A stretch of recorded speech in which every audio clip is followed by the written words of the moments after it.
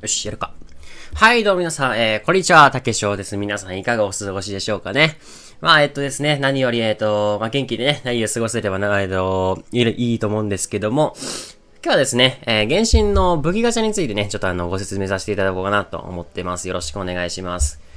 でね、えっと、まあ、武器ガチャになるんですけど、こちらキャラガチャなんでね、これ、ムアリニとカズハワのこのガチャはキャラガチャね、ちょっと別に置いときますね。ほんで、えっと、こちらが武器ガチャになるんですけども、えっと、まず武器ガチャはですね、えー、最大80回、80連、80回祈願したら、えー、っと、星がね、必ず出てくるようになります。はい。まあ、なので、その80回祈願するまでに、まあ、出て、出たりするんですけども、最大で、まあ、少なく最大で、えっと、80回引いたら必ず出るよっていうシステムになってるんですね。星5の武器が。あの、金色にガチャ、ガチャの画面が出てきて、金色に光って、あの、星5武器が出てくるわけなんですけども、まあ、そこでですね、例えば星5武器が出ましたよと。まあ、80回に、80回の天井に、天井で出たとしても、まあ、それまでに出たとしてもね、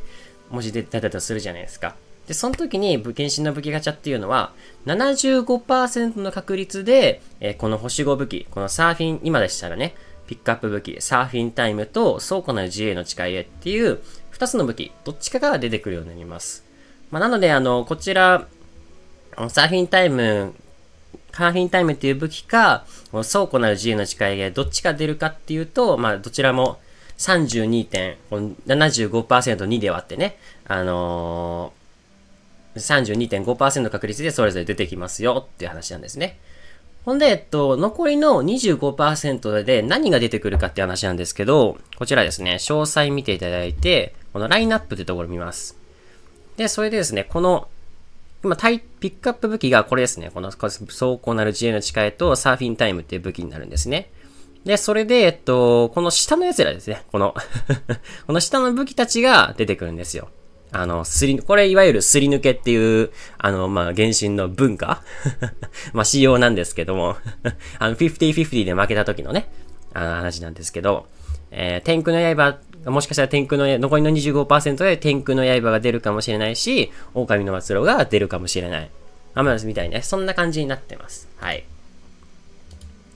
で、それで、えっと、武器ガチャね、もう一個、えっと、大きなね、えー、なんでしょうか。まあ、あの、ポイントが、ポイントっていうかシステムがございまして、この命定値っていうのがあるんですね。この、規定された武器、ここにあると思うんですけども、こういうの、このシステムは、えっと、簡単に言いますと、例えば、えっと、最初、武器ガチャね、何も引いてない状態から、武器ガチャの1回ずつど、10回ずつでも1回でも引いてって、で、それ、それ例えば、吸い抜きしましたよと。吸い抜きしたときに、次、あの、星5武器出たら、まあ、必ず、このピックアップ欲しい武器あげますよっていうシステムなんですね。それを、えっと、命定システムって言うんですけども、あのですね、うん。えー、なん、なんて言えばいいかな。なんて言えばいいかな。まあ、その、命定システムっていうのがあるんですけども、こちら命定値はですね、え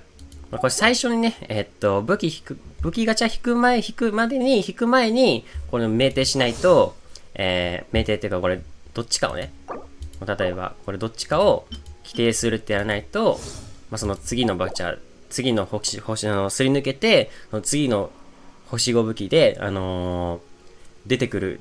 出てこないんで、ちゃんとあの、前にね、欲しい武器あれ、あの、どっちかありましたら、ちゃんとピックアップしていきましょうというわけです。はい。で、あと、そうですね、もう一個かな。あの、